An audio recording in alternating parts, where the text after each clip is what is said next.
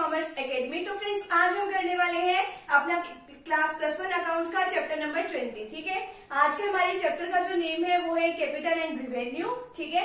आज का जो हमारा वीडियो सेशन रहने वाला है, वो हमारा रहने वाला है हमारा आज के एक्सपेंडिचर के टॉपिक के ऊपर, ठीक है? कि क्लासिफिकेशन जो है, हम एक्सपेंडिचर्स की किस तरीके से करते हैं। हम अपने जो एक्सपेंडिचर की क्लासिफिकेशन है, वो टू टाइप से करते हैं, ठीक है? फ़र्स्ट हमारे पास होता है कैपिटल एक्सपेंडिचर एंड सेकेंड हमारे पास होता है रिवेन्यू एक्सपेंडिचर ठीक है? हमारे पास टू टाइप्स के जो है हम इस तरीके से इसको क्लासीफाई कर सकते हैं। अब हम आज के वीडियो सेशन में ये एक्सपेंडिचर के बारे में डिस्कस करेंगे और फिर से नेक्स्ट जो वीडियो सेशन रहेगा हमारा, उसमें हम डिफरेंस के बारे में डिस्कस करेंगे कि कैपिटल और रिवेन्यू एक्सपेंडिचर में क्या क्या डिफरेंसेस होते हैं, ठीक है? तो फ्रेंड्स अगर आप चैनल पे न्यू है तो चैनल को आप प्लीज़ सब्सक्राइब कर दीजिए वीडियो को लाइक कर दीजिए और बेल आइकन को प्रेस ज़रूर कर दीजिएगा, ताकि आपको आगे आने वाली वीडियोस का नोटिफिकेशन मिलता रहे, ठीक है? और अपने फ्रेंड सर्कल में भी वीडियो को ज़रूर शेयर कीजिएगा। अभी हम वन बाय वन इस चैप्टर को कवर कर देंगे, ठीक है? और अगर आपको पिछला कोई भी सिलेबस देखना है अपना क्लास प्लस वन से रिलेटेड अकाउंट से रिलेटेड तो आप डिस्क्रिप्शन बॉक्स में जाइए, आपको वहाँ पे सारे चैप्टर्स की लिंक मिल जाएँगे, यानी कि आपको वहाँ प्लेलिस्ट मिलेगी, ठीक है? तो आप कोई भी टॉपिक जो है इजिली समझ सकते हैं। तो चलिए आज का टॉपिक जो है, हम स्टार्ट करते हैं। फ़र्स्ट हमारे पास आता है आज कैपिटल एक्सपेंडिचर की कैपिटल एक्सपेंडिचर क्या होता है? सबसे पहले मैं आपको बताऊँ कि कैपिटल एक्सपेंडिचर वो वाले एक्सपेंडिचर होते हैं कि जिसका अगर हम कोई भी खर्चा कर देते हैं तो उसका बेनिफिट हमें बहुत लंबे टाइम तक मिलता है। ठीक है? यानी कि आज हमने जो खर्चा किया कम से कम 10-15 सालों तक हम उस बेनिफिट को गेन कर पाएँगे, ठीक है? तो अब इसकी डेफिनेशन देखिए। Any expenditure which is incurred in acquiring और increasing the value of fix assets आप देखो, ये क्या होता है? एक तो इसमें यही बात आती है कि हमें इसका बेनिफिट लंबे टाइम पीरियड तक मिलता है और इससे सेकंड बात क्या आती है? यानी कि कोई भी हम ऐसा खर्चा करते हैं कि जिससे कि हमारी फिक्स असेट्स की वैल्यू जो है वो इंक्रीज होती है। अब फिक्स असेट्स कौन कौन सी होती है? जो हमारे प्रोडक्शन करने में काम आती है हमारे बिज़नेस के अंदर। ठीक है? अब देखो, इसके अंदर एक एग्ज़ाम्पल दे रखा है। एग्ज़ाम्पल है amount spend on the purchase of land and building ठीक है? आपने परचेज करने पे खर्च कर दिया। क्या लैंड एंड बिल्डिंग को आपने परचेज किया, उसके ऊपर आपने खर्चा किया। अब लैंड एंड बिल्डिंग को आप जो है, लंबे टाइम पीरियड तक अपने बिज़नेस पे यूज़ कर सकते हो बिल्डिंग बना सकते हो, ठीक है लैंड खरीद सकते हो, ठीक है तो आपको बहुत लंबे पीरियड तक उसका बेनिफिट मिलने वाला है और साथ ही साथ आपकी जो फिक्स असेट्स है, उनकी वैल्यू भी इंक्रीज हो रही है, ठीक है। इसी तरीके से आप प्लांट एंड मशीनरी को लिया है अगर मशीनरी एक बार अपने बिज़नेस में ले आते हो तो आपको काफ़ी टाइम पीरियड तक आप उसे प्रोडक्शन करते रहते हो। तो ये भी इसका एक एग्ज़ाम्पल है, ठीक है? अब और एग्ज़ाम्पल देखिए इसके क्या क्या है? Expenditure which result in the acquisition of fix assets अब देखिए, कोई भी हमने ऐसा खर्चा कर दिया जिससे हमारे फिक्स असेट्स की वैल्यू इंक्रीज हो रही है, ठीक है? जैसे कि हमने land and machinery land and building या फिर प्लांट वगैरह जो है और मशीनरी वगैरह जो है वो खरीद ली, ठीक है? ऐसा खर्चा कोई कर दिया? या फिर कोई ऐसा खर्चा किया है expenditure in connection with the purchase और erection of a fix assets या तो कोई भी हमने ऐसा खर्चा कर दिया कि या तो हमने कोई भी फिक्स असेट्स को परचेज किया है, या फिक्स असेट्स को हम अपने बिज़नेस में बना रहे हैं, या सेटअप करने से रिलेटेड फिक्स असेट्स को जो भी खर्चा हुआ है, वो कैपिटल एक्सपेंडिचर के अंदर ही आता है। जैसे कि हम मान लो कोई फिक्स असेट्स हम अपने बिज़नेस में बनवा रहे हैं, ठीक है? तो हम अपने वेजेस को जो भी सैलरी वगैरह पे कर रहे हैं तो वो इसी के अंदर आएगा फॉर इरेक्टिंग मशीन ठीक है? मशीन बना रहे हैं या कुछ भी इसके अंदर कुछ भी करा रहे हैं तो वो सारा इसी के अंदर आएगा नेक्स्ट हमें दे रखा है expenditure which result in the improvement of fix assets यानी कि हमने अपने फिक्स एसेट्स को ठीक कराने के लिए जो भी खर्चा किया है वो भी इसी के अंदर आएगा। ठीक है?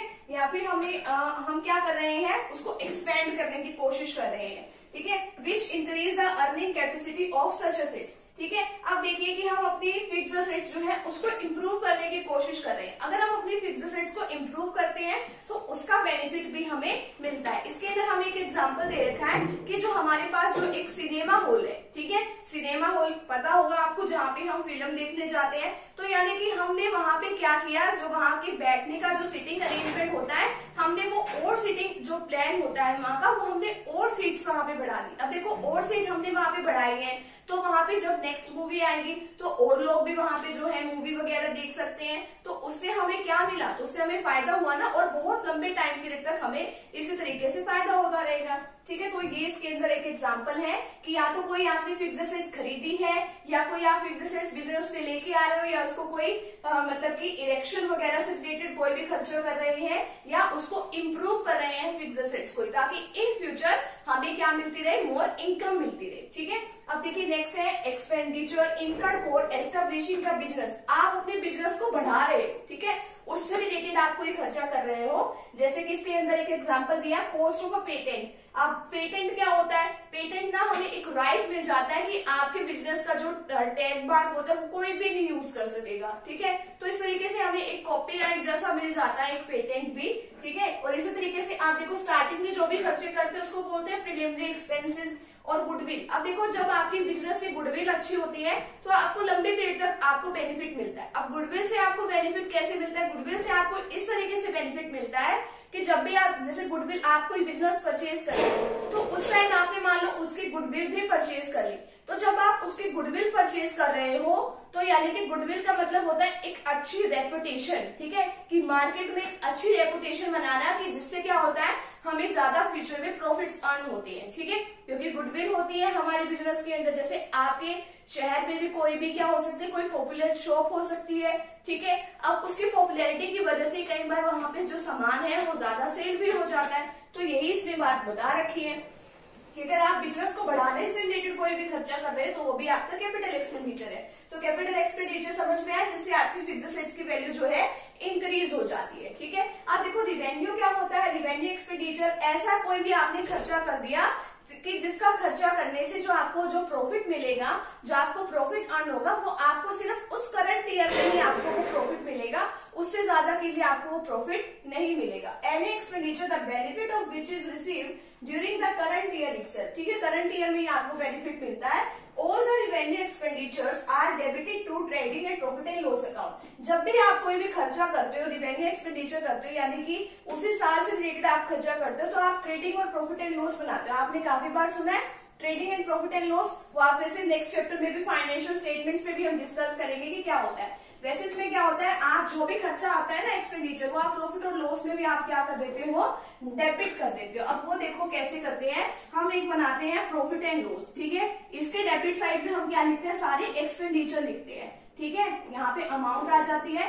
ये आपकी क्रेडिट साइड है, इसमें आप इनकम लिखते हो, फिर अमाउंट ठीक है? तो यानी कि जो भी खर्चा हुआ, वो आप यहाँ पे शो कर देते हो, ठीक है? तो ये है आपके रिवेन्यू एक्सपेंडिचर ठीक है?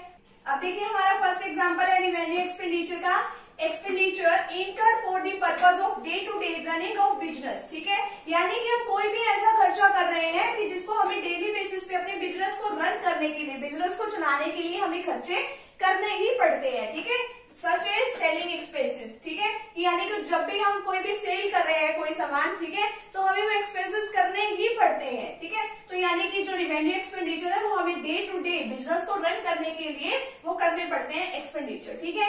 नेक्स्ट है purchase of raw material raw material का मतलब क्या होता है? कच्चा माल हम खरीदते हैं, ठीक है? किस लिए खरीदते हैं? For converting into finish goods ठीक है? कि रॉ मेटीरियल से हम क्या बनाते हैं? देखो, कच्चा माल होता है। मान लो हमारे पास कॉटन है। कॉटन से हमें थ्रेड बनाना है। ठीक है? तो यानी कि उसको बनाने के लिए फिनिश गुड्स बनाने के लिए, ठीक है? तो हम जो भी खर्चा कर रहे हैं तो वो इसी के अंदर आएगा। अब देखो परचेज कर रहे हैं। परचेज जो है, हमारे बिज़नेस के अंदर वो तो नॉर्मल सी बात है, होती रहती है कभी कभार थोड़ी होती है ये। रिवेन्यू नेचर के जो एक्सपेंडिचर होते हैं, वो तो डेली बेसिस पे होते ही रहते हैं, यानी कि जल्दी जल्दी होते रहते हैं, ठीक है? अब नेक्स्ट देखिए expenses incurred on the ordinary repairs and maintenance of fix assets यानी कि कोई भी ऐसा खर्चा कर दिया कि मान लो हमारी फिक्स असेट्स थी, ठीक है? उसको मेंटेन करने के लिए कि हमें क्या करना पड़ता है? कोई ना कोई खर्चा करना पड़ता है। अब देखो, मान लो कोई हमारी बिल्डिंग है। बिल्डिंग के ऊपर हमें व्हाइट वॉश कराना पड़ रहा है, ठीक है? व्हाइट वॉश का मतलब तो समझते होंगे ना तो हमें व्हाइट वॉश कराना पड़ रहा है। तो उसका क्या मतलब उसमें हम कौन सा एक्सपेंडिचर उसको मानते हैं, उसको मानते हैं रेवेन्यू एक्सपेंडिचर क्योंकि व्हाइट वॉश जो है, वो हमें जल्दी जल्दी जो है कराना ही पड़ता है। एक साल नहीं, वो दो साल चल जाएगा व्हाइट वॉश कराया हुआ अपनी बिल्डिंग के ऊपर। ठीक है, फिर से हमें दोबारा कराना पड़ेगा। यानी कि लंबे टाइम तक तो हमें इसका बेनिफिट नहीं मिला ना। तो इसका मतलब ये है। नेक्स्ट है डेप्रिसिएशन ऑन फिक्स एसेट्स अब देखो फिक्स एसेट्स है आपकी। ठीक है प्लांट एंड मशीनरी है बिल्डिंग है। कुछ भी है आपकी तो उसके ऊपर क्या करना पड़ता है? वैसे मोस्टली केसेस में जो डेप्रिसिएशन लगती है, वो किसके ऊपर लगती है? मशीनरी वगैरह के ऊपर लगी। तो यानी कि डेप्रिसिएशन जो है, आप हर साल लगाते हो।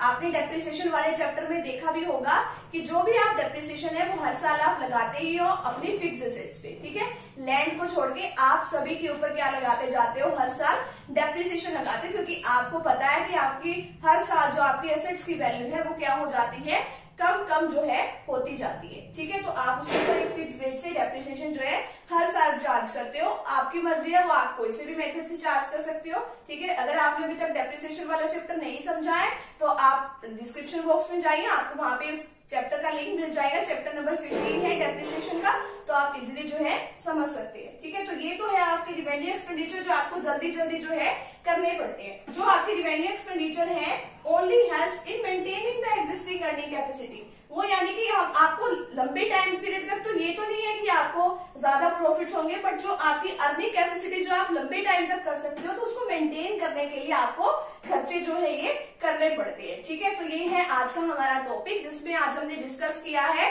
कैपिटल और रिवेन्यू के इसमें कि क्लासिफिकेशन ऑफ़ एक्सपेंडिचर क्या होते हैं कैपिटल एक्सपेंडिचर कौन से होते हैं और as well as revenue expenditure कौन कौन से होते हैं। और नेक्स्ट वीडियो सेशन में हम डिस्कस करने वाले हैं इन दोनों के बीच में क्या डिफरेंसेस होते हैं तो आप वो भी वीडियो सेशन ज़रूर देखिएगा। तो मिलते हैं फ्रेंड्स नेक्स्ट टॉपिक के साथ एंड नेक्स्ट वीडियो के साथ। Thank you very much